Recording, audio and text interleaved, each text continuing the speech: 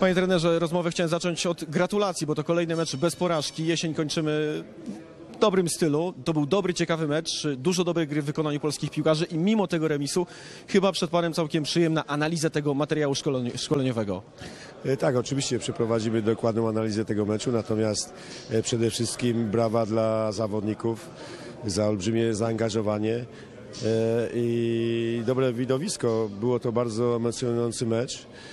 E, Tempo akcji w wielu fragmentach e, spotkania naprawdę było bardzo wysokie.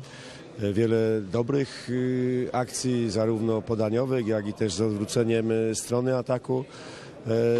Także przede wszystkim patrzymy pozytywnie na to spotkanie, tym bardziej, że powiodły się zmiany. Chciałem sprawdzić wielu zawodników, którzy do tej pory nie mieli okazji grać przeciwko tak dobrej drużynie, bo to też jest e, ważne E, i z pewnością wyciągniemy wnioski.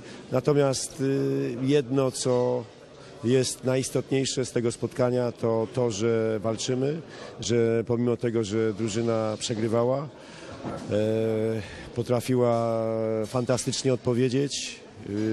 W trakcie już pierwszej połowy strzeliliśmy wyrównującą bramkę i w drugiej połowie e, można powiedzieć zagraliśmy swoje, czyli ruszyliśmy do ataku, e, bramka na, na 2-1 e, i, i myślę, że tutaj taki decydujący wpływ na to, że był remis, to to, że graliśmy w osłabieniu. No, tak w piłce bywa, że trzeba również przećwiczyć system gry w dziesięciu, chociaż wolałbym dokończyć to spotkanie w pełnym składzie. Chciałem dopytać o to, e, że graliście swoje po przerwie, jak pan powiedział. Po raz kolejny właśnie Polacy zaatakowali z jeszcze większym impetem e, tuż na początku drugiej połowy. Jakby pan się nie zasłaniał tajemnicą szatni, co takiego się dzieje, że pańscy piłkarze wychodzą na tę drugą połowę jeszcze bardziej zmobilizowani? Y, To zostaje w szatni.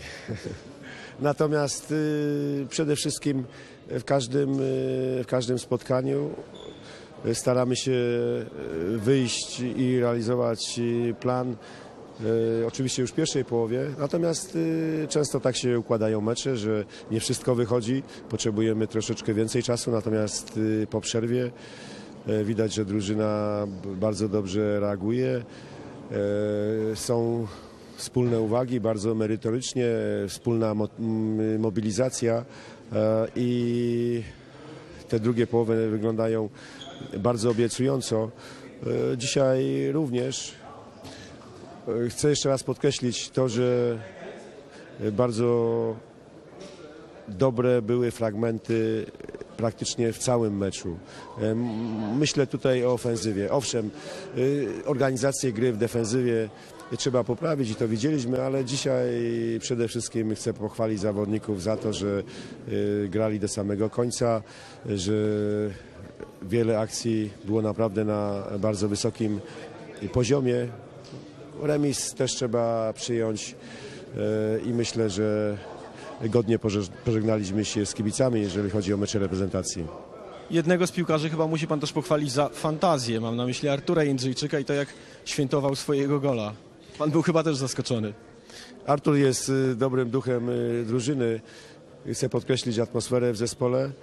E, Naprawdę jest y, bardzo dobra, zarówno na boisku, każdy się wspiera, jeden na drugiego może liczyć. Tak drużyna gra z charakterem, oby tak dalej.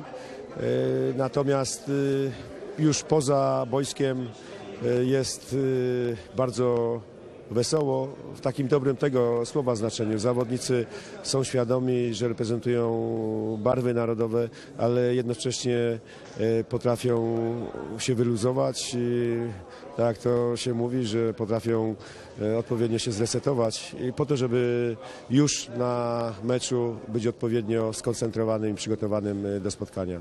Panie trenerze, to był ostatni mecz reprezentacji w tym roku. Chciałbym poprosić o krótkie takie podsumowanie tego, co się e, no, wydarzyło. Na czele oczywiście pewnie z tymi meczami eliminacyjnymi. 10 punktów, pierwsze miejsce, idziemy do przodu. No i powodzenia w takim razie. Dziękuję. Dzięki.